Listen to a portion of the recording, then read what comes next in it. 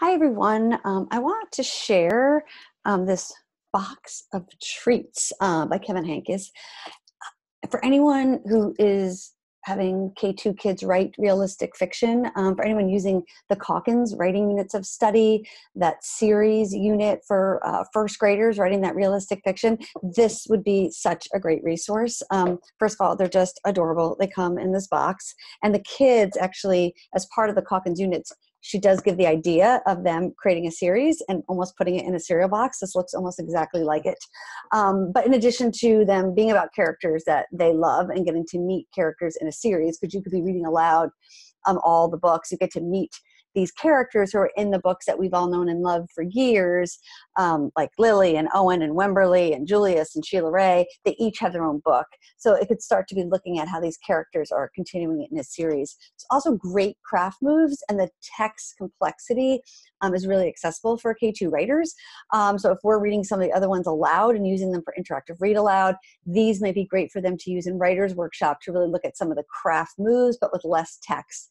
Um, so like in this one, Owen's Marshmallow um, Chick, um, he does a nice job in this book of really showing kids how to balance both action and then dialogue. Things like Owen looked at the chocolate bunny, action. My favorite, he said, right, dialogue, and then and he ate it up, back to action. So really when we have kids who are using one right elaboration strategy more than others, this is a nice way to show them how to balance that.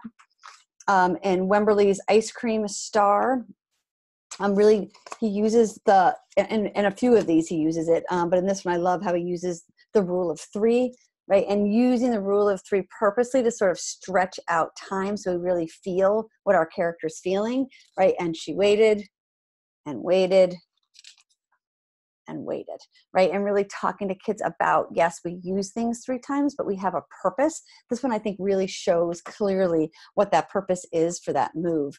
Um, and this one, Lilly's Chocolate Heart. I just love the ending. Um, it's a way to really show kids to have that close in ending. You know, perfect, said Lilly. Um, it's also her saying something, thinking something, feeling something all in one. So this is definitely also going to go in my close and ending basket for kids. I love um, in this one, Julius's candy corn. They're just going to love that they're going to see what's happening. So I also think it's really great when you're thinking about your audience and how you're showing one thing in the pictures and the other thing in the words. I think it'd be really fun for kids to start to play with layers of meaning because um, by the words, we think he's just counting, but the pictures are showing us that he's eating that candy corn.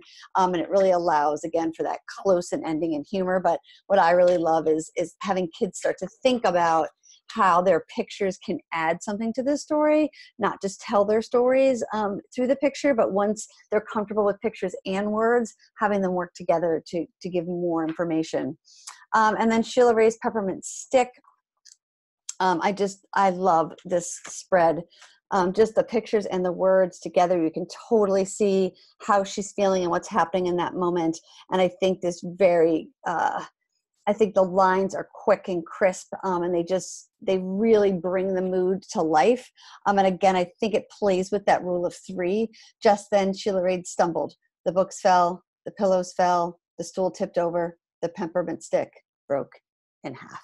Right, and I just think that you can really feel in the words reflected of how she looks in the picture and therefore how she feels. So these are great books. I think kids are going to love them. I think they'd be great for book clubs. I think they'd be great for kids to explore with partners. But what I'm most excited about is getting these into mentor um, baskets for kids to explore and get in again as writers.